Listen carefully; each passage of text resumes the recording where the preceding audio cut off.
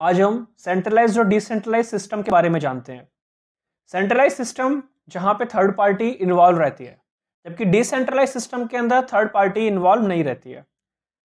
Centralise system easily hack किया जा सकता है in comparison to decentralise system centralise system का सिंपल सा मतलब है कि जो पावर है वो किसी एक पर्सन के हाथ में रहती है, जबकि डिसेंट्रलाइज के अंदर जो पावर है वो एक मल्टीपल अथॉरिटी के पास में ट्रांसफ़र हो जाती है और सबके पास में बराबर बराबर पावर डिस्ट्रीब्यूटेड हो जाती है।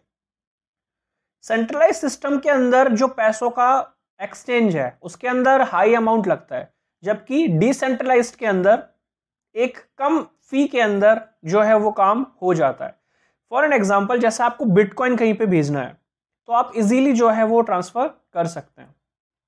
सेंट्रलाइज सिस्टम का जो सबसे अच्छा एग्ज़ाम्पल है वो है आरबीआई जो कि अपने बैंक सिस्टम को कंट्रोल करता है और डिसेंट्रलाइज का सबसे अच्छा एग्ज़ाम्पल है, वो है क्रिप्टो एक्ट चैनल पर नए हैं तो सब्सक्राइब ज़रूर करें।